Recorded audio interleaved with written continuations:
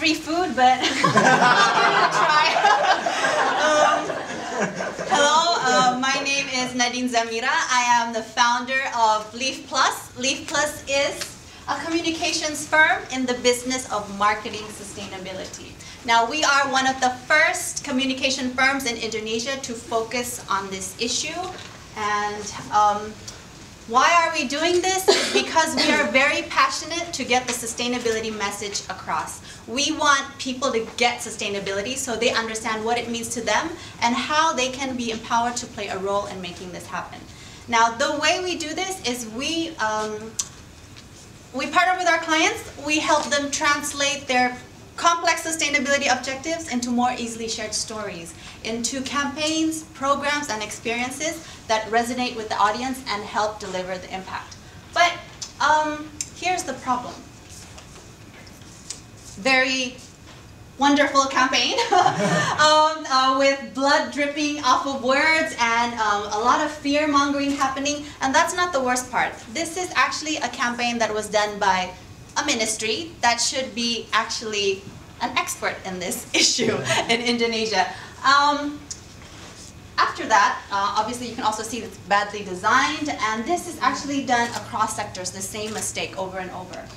Um, this, boring. um, um, I mean, we can see here that these institutions are trying to engage, but do they understand their audience?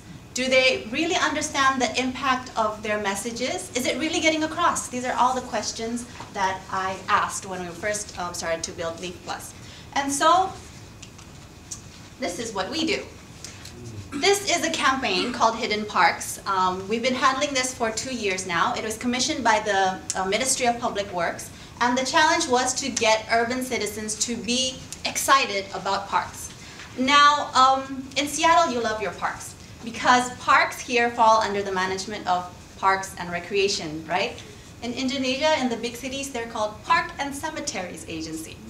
so you can imagine uh, this gives an insight of how we treat our parks. So at a time where no one was talking about parks, we came up with this campaign um, and we instilled elements of design, art, music, community engagement, all that really talks and speaks to the audiences we were targeting, which were, of course, the millennials.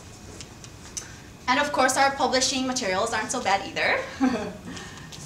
and I'm happy to say that um, we've garnered a lot of um, uh, discussions on um, social media about parks, a lot of um, news coverage as well. And, but our best achievement is actually that as a direct impact of Hidden Park, there is now a new community of park activists called Parktivist, and there are 50 members now, and because this model was seen as really effective, it's now being adopted in three cities. And now I can say that this movement has taken a life of its own. I'm really proud to say that.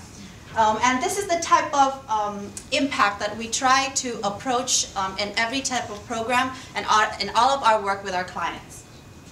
Now, Indonesia has two big resources when it comes to this. The first is uh, the majority of our audience, which is 93 million, uh, 93 million or 38% of our market are aspirationals, or you might know them as millennials. They're people who associate to um, consumption, to style, um, and to um, certain lifestyles, but they also know that they can make an impact and they want to reduce, they want to actually do something to make this world a better place. So th this is the potential for engagement.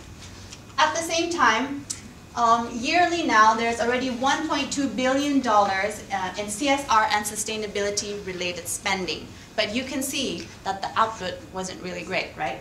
So um, this is where Leaf Plus wants to position itself. We want to be the bridge between these two resources, the 93 million people as a potential of engagement, and all the money out there that's being thrown around already, uh, but isn't being used uh, effectively.